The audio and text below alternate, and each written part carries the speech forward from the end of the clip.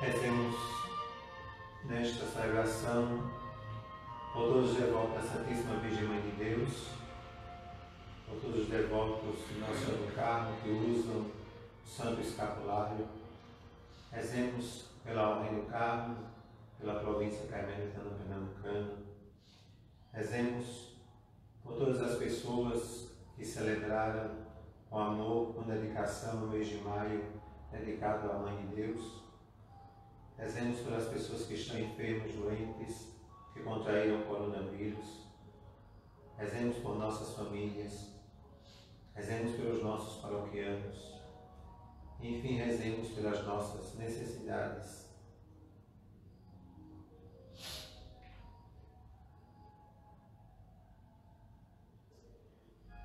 Em nome do Pai, do Filho e do Espírito Santo. Amém. A graça e a paz de Deus, nosso Pai, e Jesus Cristo, nosso Senhor, estejam sempre convosco. Bendito seja Deus que nos reuniu no amor de Cristo. No início desta celebração eucarística, peçamos a conversão do coração, fonte de reconciliação e comunhão com Deus, com os irmãos e irmãs.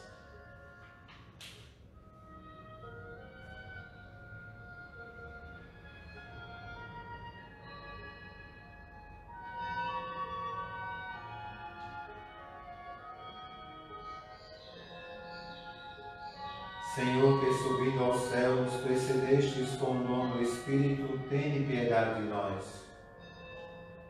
Senhor, tende piedade de nós. Cristo, que dás vida a todas as coisas com o poder da vossa palavra, tende piedade de nós. Cristo, tende piedade de nós. Senhor, Rei do Universo e Senhor dos séculos, tende piedade de nós. Senhor, tende piedade de nós. Deus Todo-Poderoso, tenha compaixão de nós, perdoa os nossos pecados e nos conduza à vida eterna. Amém.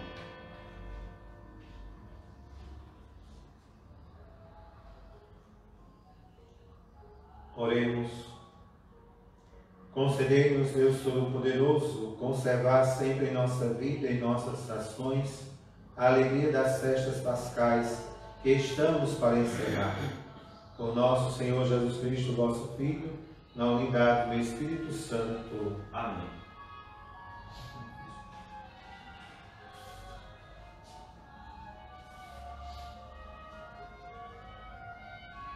Irmãos e irmãs, celebremos, pois, neste dia, os louvores da Virgem Maria. Era, era a mãe do Rei vitorioso, reina com Cristo na glória do Pai e nos espera na eterna alegria. Agora, lábios meus, dizei, anunciai os grandes louvores da Virgem Mãe de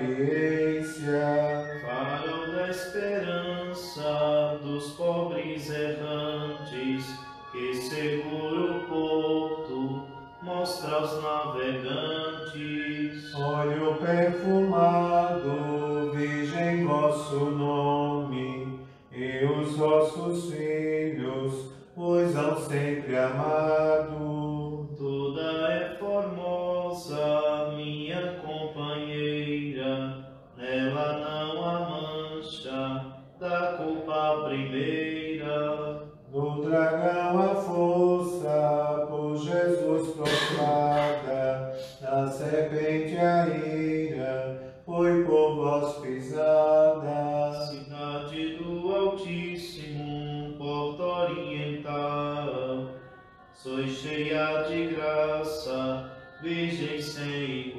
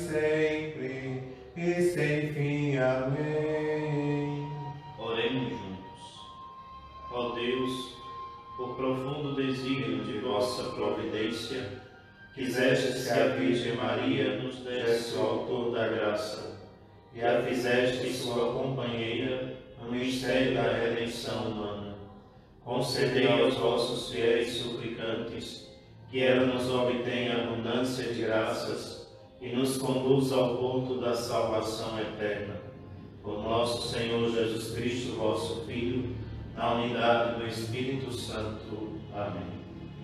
Meditação das Sagradas Escrituras. Feliz o seu que te trouxe os peitos que te amamentaram. Mais felizes ainda aqueles que ouvem a palavra de Deus e a põem em prática.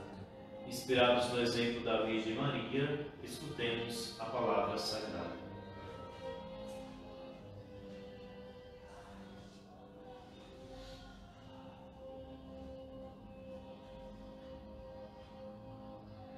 Leitura dos Atos dos Apóstolos. Quando entramos em Roma, Paulo recebeu permissão para morar em casa particular com um soldado que o vigiava. Três dias depois, Paulo convocou os líderes dos judeus. Quando estavam reunidos, falou-lhes: Irmãos, eu não fiz nada contra o nosso povo, nem contra as tradições de nossos antepassados. No entanto, vim de Jerusalém como prisioneiro, e assim fui entregue à mão dos romanos. Interrogado por eles no tribunal, e não havendo nada em mim que merecesse a morte, eles queriam me soltar. Mas os judeus se opuseram e eu fui obrigado a apelar para César, sem nenhuma intenção de acusar minha nação. É por isso que eu pedi para ver-vos e falar-vos, pois estou carregando estas algemas exatamente por causa da esperança de Israel. Paulo morou dois anos numa casa alugada. Ele recebia todos os que o procuravam, pregando o reino de Deus. Com toda a coragem e sem obstáculos, ele ensinava as coisas que se referiam ao Senhor Jesus Cristo. Palavra do Senhor. Graças a Deus. Ó Senhor, quem tem reto coração há de ver a vossa face. Ó Senhor, quem tem reto coração, há de ver a vossa face. Deus está no templo santo e no céu tem o seu trono. Volta os olhos para o mundo, seu olhar penetra os homens. Ó Senhor, quem tem reto coração, haverá de ver a vossa face. Examina o justo e o ímpio, e detesta o que ama o mal. Porque justo é nosso Deus, o Senhor ama a justiça. Quem tem reto coração, há de ver a sua face. Ó Senhor, quem tem reto coração, há de ver a vossa face. Aclamemos ao Santo Evangelho.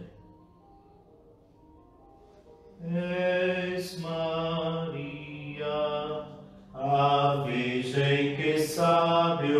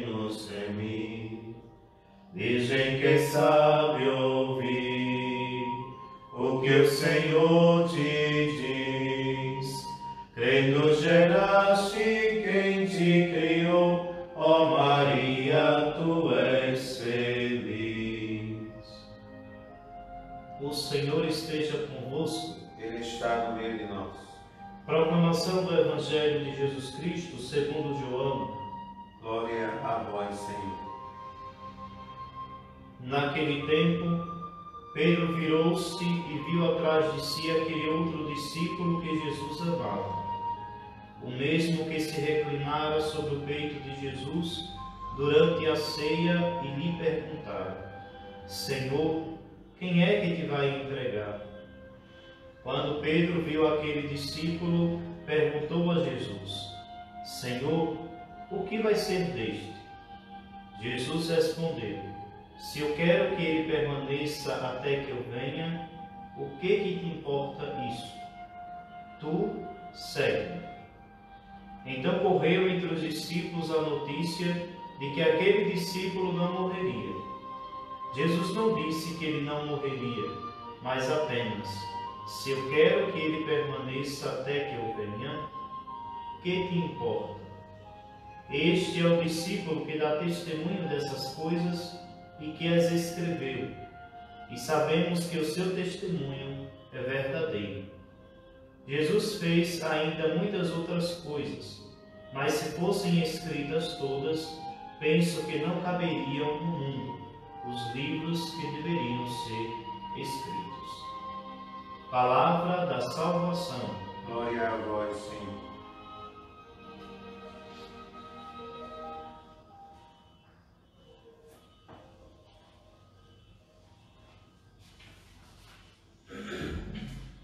Meus queridos e amados irmãos e irmãs, após 50 dias de caminhada pascal, nós concluímos com esta celebração este tempo solene da Páscoa.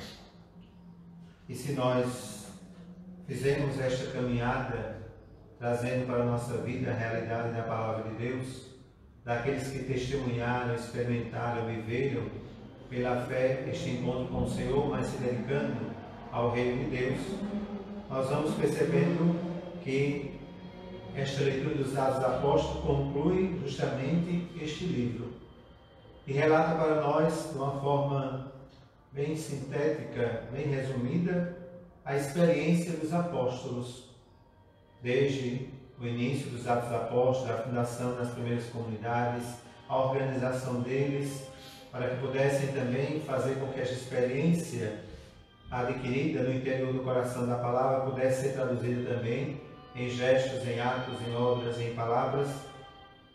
Os apóstolos ficaram cada vez mais cheios e imbuídos da graça de Deus para poderem colocar também os seus dons a serviço da propagação e difusão do Evangelho de Cristo.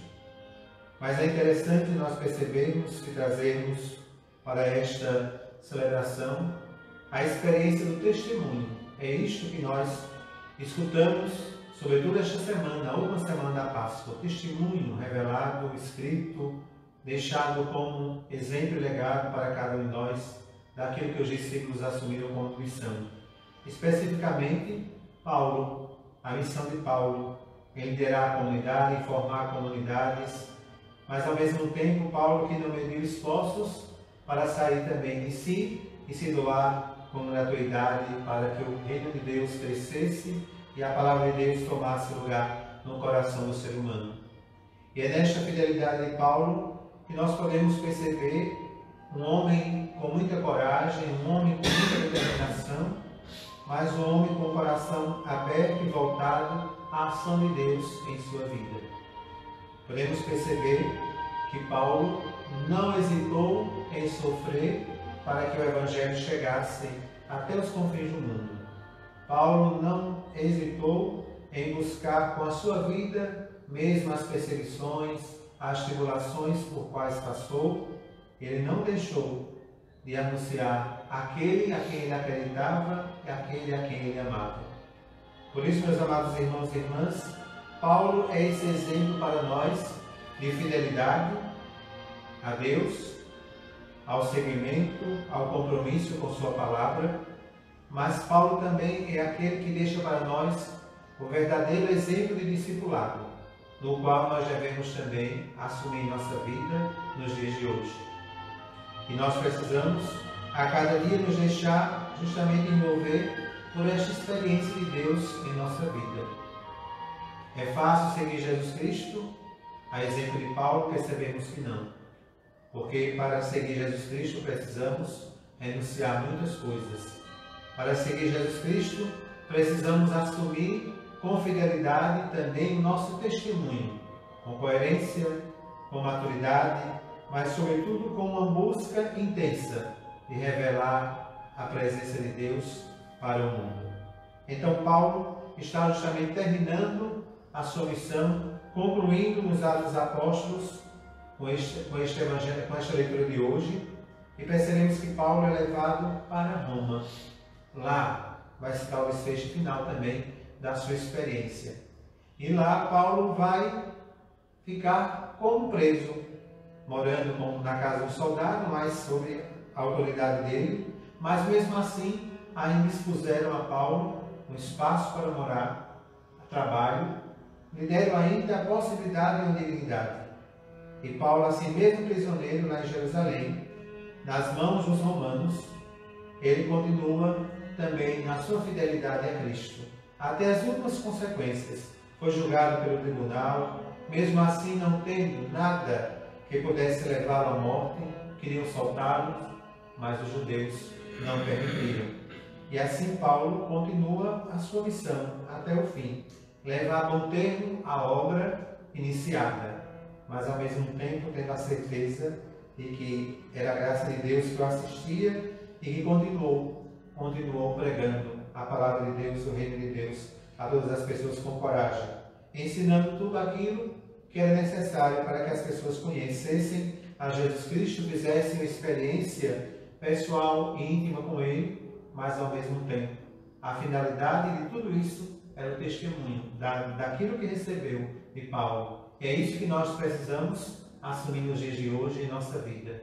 Esse testemunho, este legado que Paulo deixa da missão e nos ensina como fazermos a missão acontecer. Nos ensina como engrandecer o reino de Deus, fazer crescer também no meio de nós. Mesmo com as dificuldades, mesmo com as perseguições, mesmo até a morte chegando a bater a sua porta, ele não hesitou em levar o nome de Deus a todas as pessoas que estavam sedentas de sua presença. E aí nós concluímos esta experiência deste último dia que nós celebramos da Páscoa com o Evangelho de hoje. Pedro, estando com os seus discípulos junto com Jesus, fica muito preocupado com o que vai acontecer com aquele que Jesus amava, o filho amado, o discípulo amado. E ele vai fazer uma interrogação a Jesus, Pedro. Senhor, quem é que vai te entregar? Quando Pedro viu aquele discípulo, perguntou a Jesus: Senhor, o que vais, o que vai ser deste? Ou seja, a preocupação primeira de Pedro é o que ia acontecer com o discípulo amado João. Mas Jesus não vai dar uma resposta tão rápida, tão livre na indagação de Pedro, mas pelo contrário, responde isto a ele mesmo. Vai dizer: Tu segue-me. Ou seja, se eu quero que ele permaneça até que eu venha, o que te importa?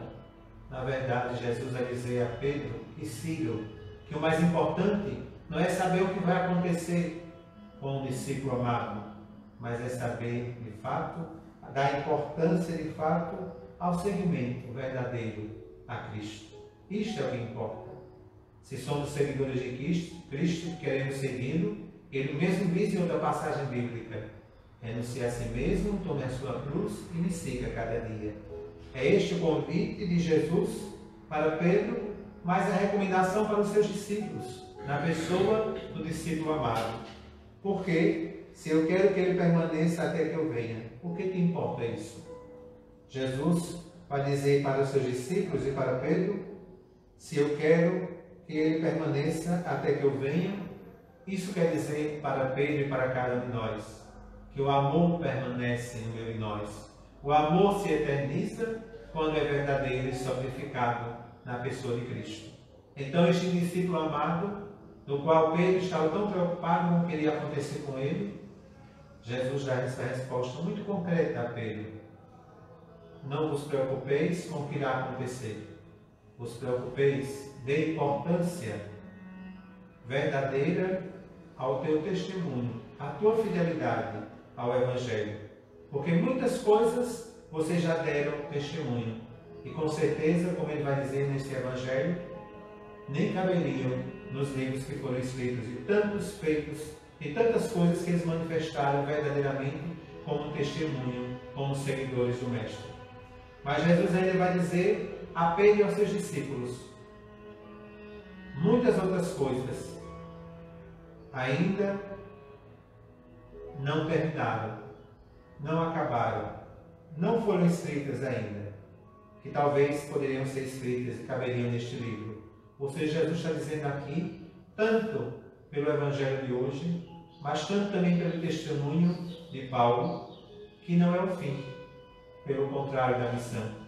É o início da missão, é a continuação desta missão que se renova pela vinda do Espírito Santo de Deus que vamos celebrar em Pentecostes, do qual os discípulos vão se encher dos dons do Senhor e vão cultivá-los nos seus corações, para que, pela chama do novo vigor que o Espírito vai suscitar nos seus corações, eles possam levar com muito mais alegria, com muito mais vigor, com muito mais entusiasmo, esta presença de Jesus com o seu testemunho de fidelidade e de amor a Ele através de Sua palavra. Então, meus amados irmãos e irmãs, caminhamos 50 dias da Páscoa. Vamos concluir esta grandiosidade do amor de Deus pela festa, pela solenidade de Pentecostes. Mas que nós possamos renovar o nosso compromisso missionário com Jesus. Possamos renovar em Jesus, pela ação do seu Espírito, este novo vigor e darmos testemunho desta palavra que liberta que salva e que traz vida em plenitude para todos nós. Jesus deixa bem claro: aquele que Ele ama vai permanecer eternamente no seu coração, não importa o que virá, porque o amor sobrevive a qualquer situação, a qualquer limite humano. Louvado seja nosso Senhor Jesus Cristo. Para sempre seja louvado.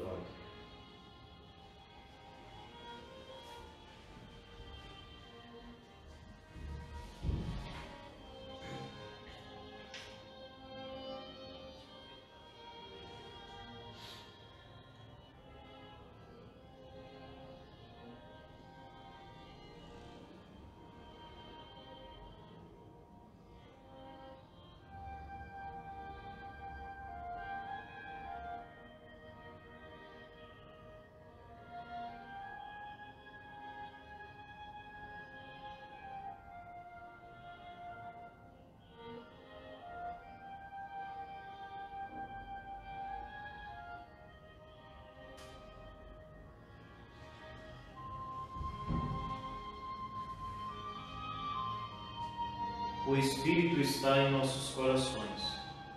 Por isso podemos chamar Deus de nosso Pai. Confiantes no amor e na misericórdia do nosso Deus, que fez de Maria participante de sua glória, elevemos a Ele os nossos humildes pedidos, em forma de ladainha. Senhor,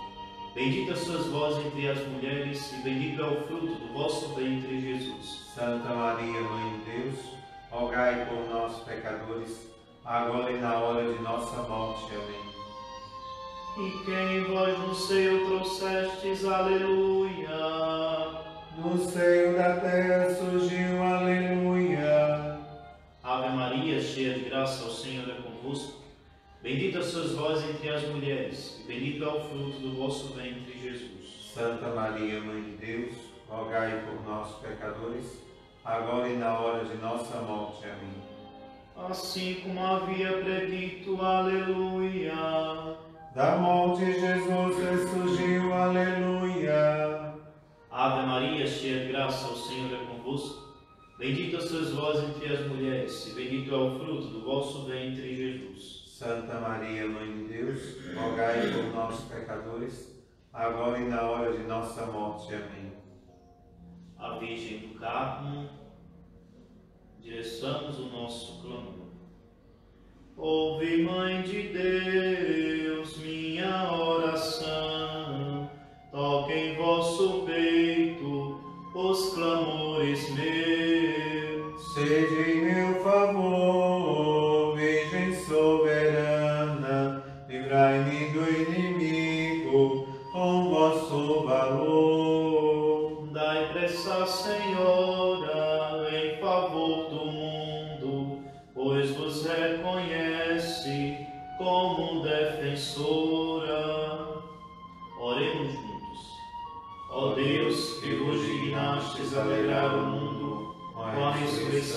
Vosso Filho, nosso Senhor Jesus Cristo, concedei-nos a graça de gozar um dia das eternas alegrias com sua mãe, a Virgem Maria, por Cristo Senhor nosso. Amém.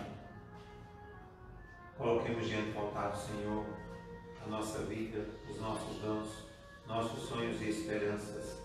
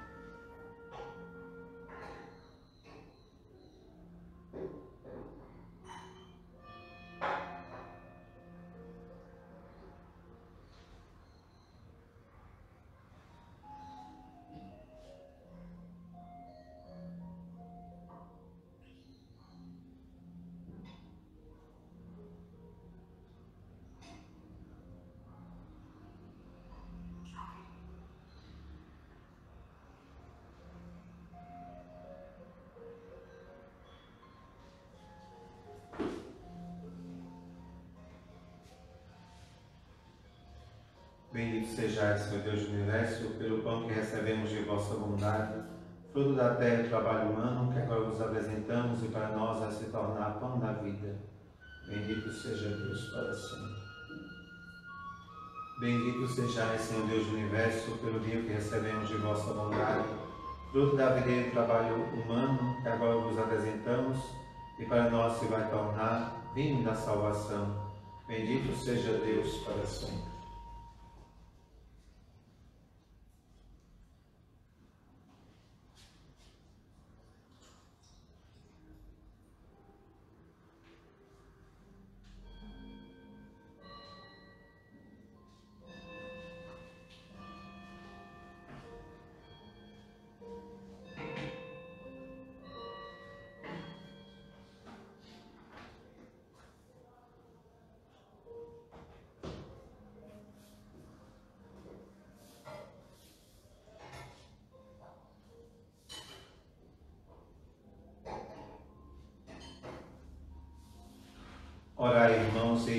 Para que o meu e o vosso sacrifício, que oferecemos nesta manhã, neste dia, sejam aceitos por Deus Pai Todo-Poderoso. Receba o Senhor por tuas mãos este sacrifício, para a glória do seu nome, para o nosso bem e de toda a Santa Igreja. Ó Deus, nós os pedimos a vinda do Espírito Santo, Ele que é o próprio perdão dos pecados, prepara os nossos corações para os vossos sacramentos por Cristo nosso Senhor. Amém. O Senhor esteja convosco. Ele está no meio de nós. Corações ao alto. O nosso coração está em Deus. Demos graças ao Senhor nosso Deus. É nosso dever e nossa salvação. Na verdade, é justo e necessário. É nosso dever e salvação dar-vos graças sempre e em todo lugar. Senhor Pai Santo, Deus eterno e todo-poderoso vencendo o pecado e a morte, vosso Filho Jesus, Rei da Glória, subiu ante os anjos maravilhados ao mais alto dos céus. E tornou-se o mediador entre vós, Deus nosso Pai, e a humanidade redimida, juiz do mundo e Senhor do universo. Ele, nossa cabeça e princípio, subiu aos céus, não para afastar-se de nossa humildade, mas para dar-nos a certeza de que, nos conduzirá à glória da imortalidade. Por essa razão, transbordamos de alegria pascal e aclamamos vossa bondade, dizendo a uma só voz: Santo, Santo, Santo, Senhor Deus do universo, o céu e a terra proclamam a vossa glória. Hosana nas alturas. Bendito que vem em nome do Senhor. Hosana nas alturas. Na verdade, ó Pai, vós sois santo e fonte de toda santidade. Santificai, pois, estas oferendas, derramando sobre elas o vosso Espírito, a fim de que se tornem para nós, no corpo e no sangue de Jesus Cristo, vosso Filho e Senhor nosso. Estando para ser entregue e abraçando livremente a paixão, ele tomou o pão, deu graças e o partiu e o deu aos seus discípulos, dizendo: Tomai todos e comei. Isto é o meu corpo, que será entregue por vós.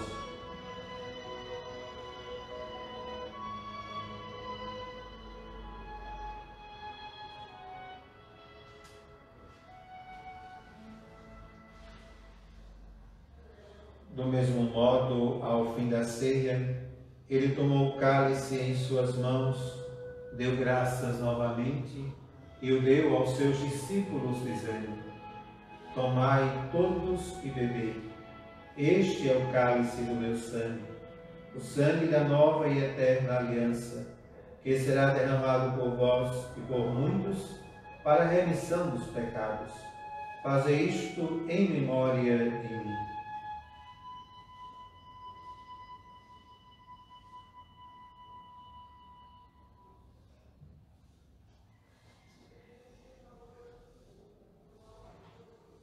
Meus irmãos, minhas irmãs, eis o mistério de nossa fé. Anunciamos, Senhor, a vossa morte e proclamamos a vossa ressurreição. Vinde, Senhor Jesus. Celebrando, pois, a memória da morte e ressurreição do vosso Filho, nós vos oferecemos, ó Pai, o pão da vida e o cálice da salvação. E vos agradecemos porque nos tornastes dignos de estar aqui na vossa presença e vos servir. Recebei ao Senhor a nossa oferta. E nós vos suplicamos que, participando do corpo e sangue de Cristo, sejamos reunidos pelo Espírito Santo num só corpo. Fazei de nós um só corpo e um só Espírito. Lembrai-vos, ó Pai, da vossa Igreja, que se faz presente pelo mundo inteiro, que ela cresça na caridade com o Papa Francisco, com o nosso Bispo João Costa e todos os ministros do vosso povo. Lembrai-vos, ó Pai, da vossa Igreja. Lembrai-vos também dos nossos irmãos e irmãs que morreram na esperança da ressurreição e de todos os que partiram desta vida. Acolhei-os junto a vós, na luz da vossa face. Lembrai-vos, ó Pai, dos vossos filhos. Enfim, nós os pedimos, tem piedade de todos nós, e dá-nos participar da vida eterna, com a Virgem Maria, Mãe de Deus, a Senhora do Carmelo, com o glorioso São José, com os santos apóstolos, e todos que neste mundo vos serviram, a fim de vos louvarmos e glorificarmos, por Jesus Cristo, vosso Filho. Concedei-nos o convívio dos eleitos.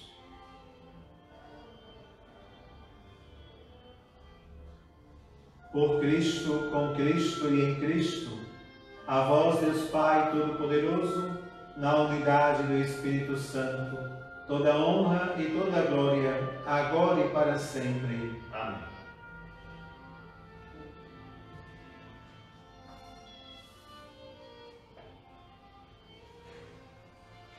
O Senhor nos comunicou o seu Espírito com a confiança e a liberdade de filhos e filhas. Rezemos.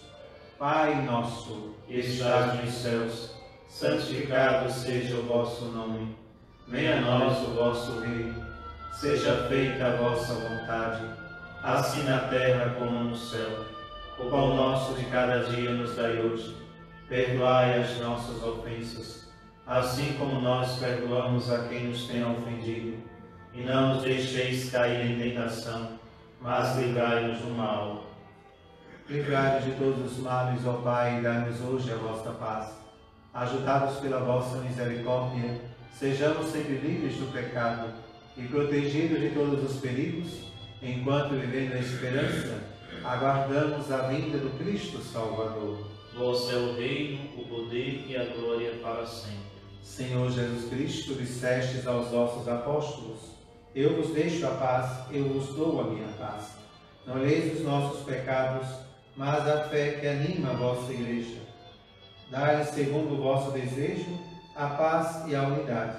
Vós que sois Deus com o Pai e o Espírito Santo. Amém. A paz do Senhor esteja sempre convosco. O amor de Cristo nos uniu.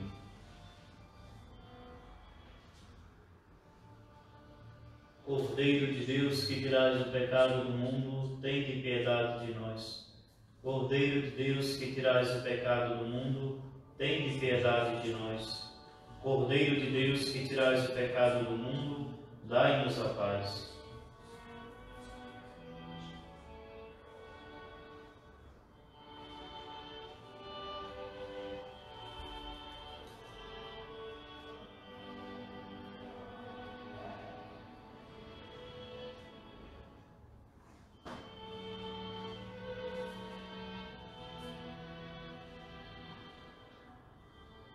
O Espírito Santo virá glorificar-me, pois receberá do que é meu, para comunicar-vos, diz o Senhor. Aleluia.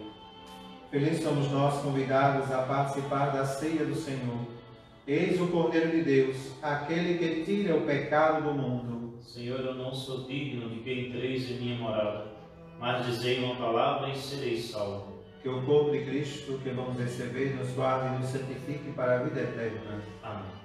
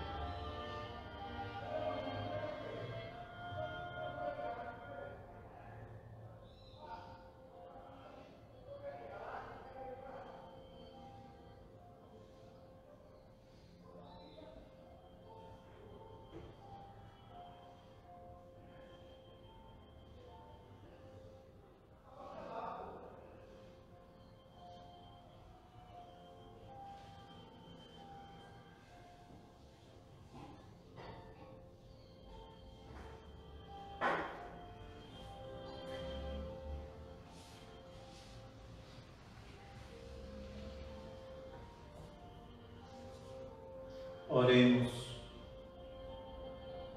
Ó Deus, atendei compassivo as nossas preces, e como passamos dos antigos aos novos sacramentos, renovai as nossas almas, dotando-nos de uma nova juventude. Por Cristo nosso Senhor.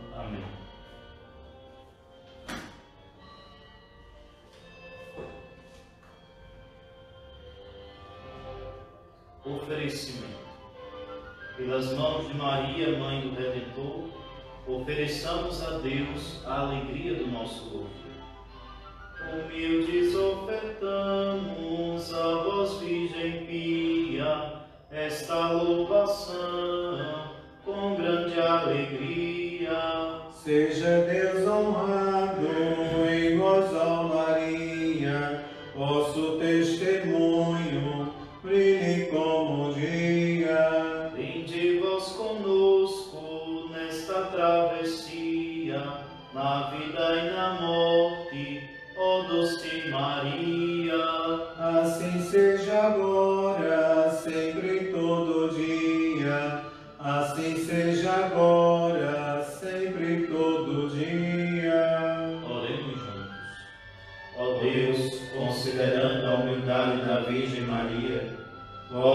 concedestes a graça e a honra de ser a mãe do vosso Filho unigênito, e a coroastes de glória e esplendor.